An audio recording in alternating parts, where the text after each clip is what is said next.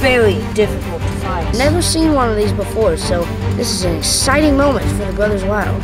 I cannot believe this. Yeah. Can you guess what it is?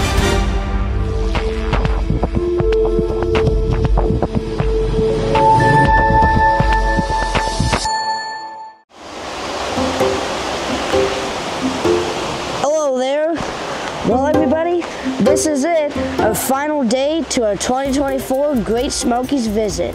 We've had a great time thus far, and today we're optimistic it's going to be just as good or better as last time's adventures. So here at the Jakes Creek Trail, we're going to search the streams in hopes of coming across one of our target species. As usual with salamander searching, logs and rocks will be moved. So come along with us as we embark on our exciting third adventure.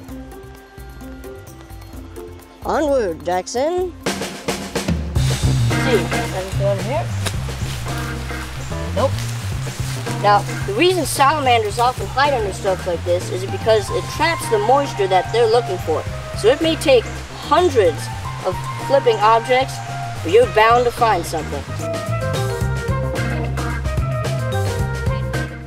Oh, salamander. We got a red salamander. We got a red salamander. Oh, oh my gosh! Oh my gosh! We have a red salamander. Now, these live throughout the southern Appalachians and in the Smokies, but they're not a very common species here in the Smokies. They're kind of like most salamanders. There are many of them here, just very difficult to find. Now, there's actually a very similar species to the red salamander, which is called the mud salamander. But there are some differences, like mud salamanders are the same shade of red but don't have any speckling. And mud salamanders have a dark brown, like muddy like eye, while red salamanders have a golden eye. Wow. Oh my! What a beautiful Now, this is my specimen. first time seeing a red salamander. Oh, I've yes. never seen one of these before, so this is an exciting moment for the Brothers Wild. All right, hey Drax, let's see if we can get some macro shots. That log would be perfect. We got a nice green background too. So.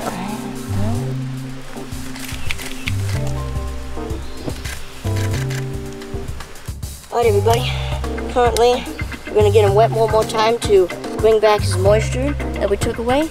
And we're gonna place him right back where we found him. All right, here we go. Place the log back. There we go.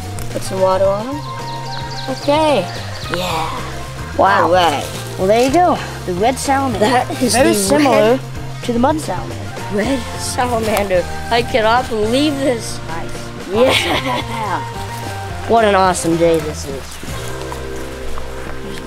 Blue Ridge Two Line. All right. Not to be confused with the Southern Two Line.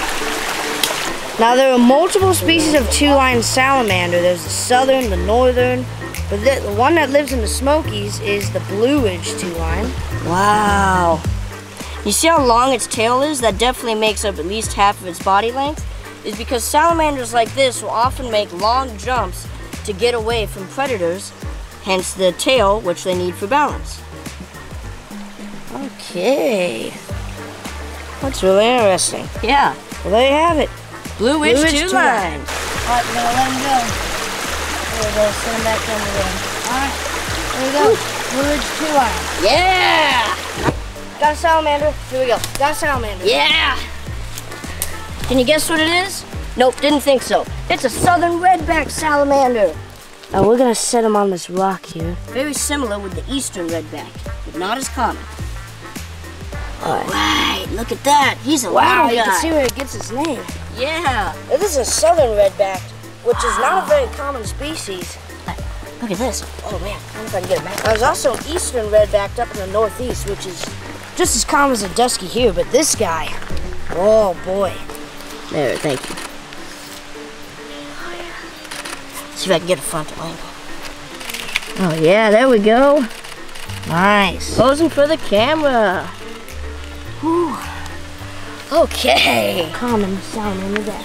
Yep, we moisturized and ready to be set back to the wild. Here we go. There he is, back into the leaf litter where we found him.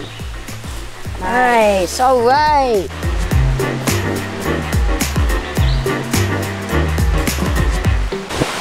Okay, everyone, this marks the end of our third adventure in the Great Smokies 2024 season.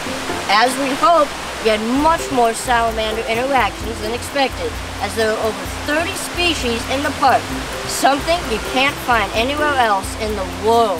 So we brought you to this location to highlight how great this national park really can be. So if you're in the area, you should try visiting the Cucumber Gap Trail and the Jakes Creek Trail. I'm Jackson Hawkins Kimmel. And I'm Jameson Hawkins Kimmel. And together, we are the Brothers Wild. Bye, everybody. Keep it wild.